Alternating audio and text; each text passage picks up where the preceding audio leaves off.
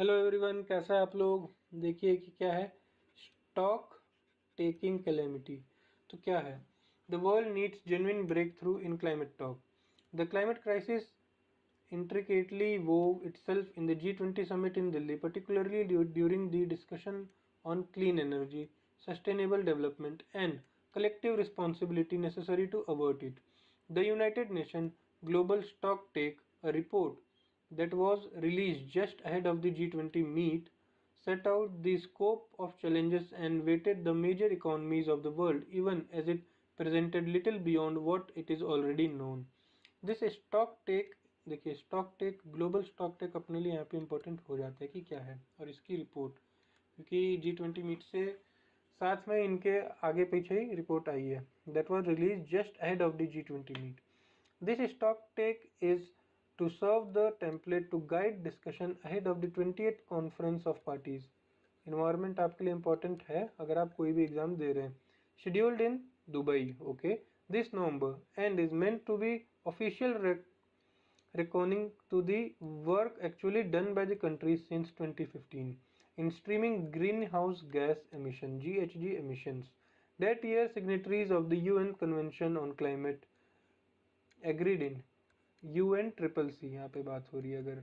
U N triple C united united nation convention on climate change in Paris to keep global emission from rising beyond two degree as far as possible limited to one point five degree Celsius though it acknowledges some headway, the world, as of now, is emitting gases in a manner that will certainly overshoot the Paris Agreement limit. The report unequivocally मतलब unequivocally unequivocally states that the much more ambition in action and support मतलब ambition जो है action से ज़्यादा support करो एक दूसरे को। Mitigation measure to reduce global G H G emission green house gas emission by forty three percent by twenty thirty तो ट्वेंटी थर्टी में आप forty three percent emission just a second guys sorry for the interruption 43 percent of green house emission को आप कम करो 2030 तक। 60 percent by 2035 and reach net zero carbon dioxide emission by 2050 तो ये गोल है इनका। Based on current information submitted by countries the emission gap consist consistent with 1.5 degree Celsius in 2030 is estimated to be 20.3 billion tons of Uh, 23.9 billion tons of CO2. These gaps are unlikely to be filled without a rapid upscaling of renewable energy sources and a essential of fuel, fossil fuel sources such as coal, oil and natural gas. However, despite several acknowledgements by world leaders most recently at the G20 of the magnitude of the crisis, little has been achieved in terms of energy transition. G20 countries account for 93% of global operation coal power plant and 88% of prospective ones. The G20 leaders declaration formally recognized the need of the United uh, uh, US dollar uh, 5.8 to 5.9 trillion in the pre-2030 period required for developing countries as well as US dollar 4 trillion per year for clean energy technology by 2030 to reach net zero by 2050.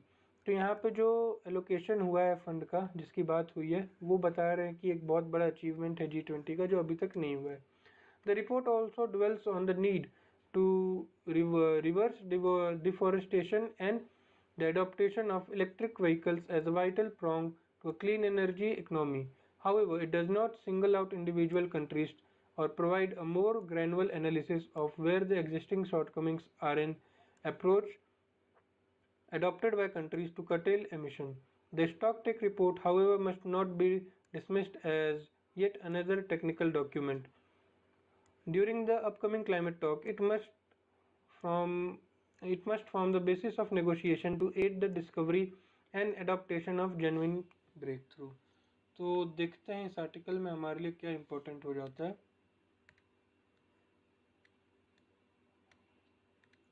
देखिए, सबसे पहले तो अपने लिए important हो जाता है ये स्टॉक टेकिंग रिपोर्ट क्या है?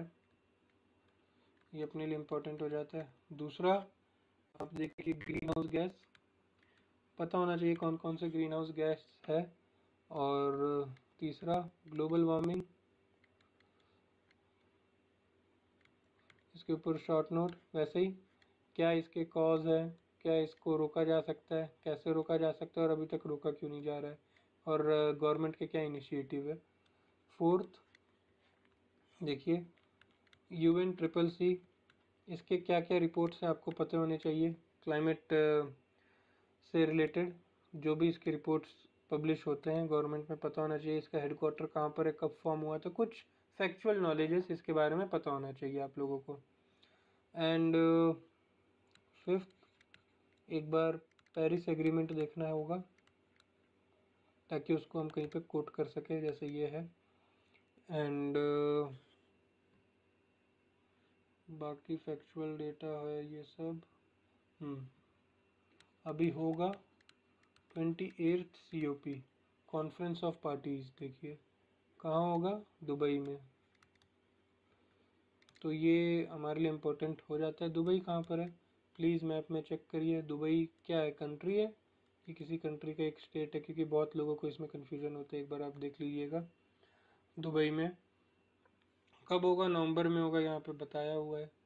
एंड ग्रीन हाउस एमिशन हो गया ग्रीन हाउस गैस हो गया। बस इस आर्टिकल में हमारे लिए इतनी चीज़ें इम्पोर्टेंट होती हैं। एंड सेवन्थ एक मैं आपको क्या हो गया? सॉरी इसके लिए। सेवन्थ आपके लिए इलेक्ट्रिक व्हीकल है।